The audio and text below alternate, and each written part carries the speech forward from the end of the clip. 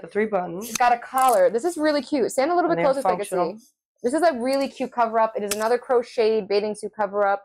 Again, how cute is this? Even if you wore the shirt by itself as a top with some Mhm. jeans, that would be really, really cute if you want to make it an outfit.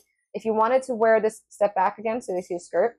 The skirt as a bathing suit cover up, you're going on vacation, you're going on the beach. It's down to her feet. Again, she is 140 and 5'7. So it goes right to me. It's probably going to be a little too long.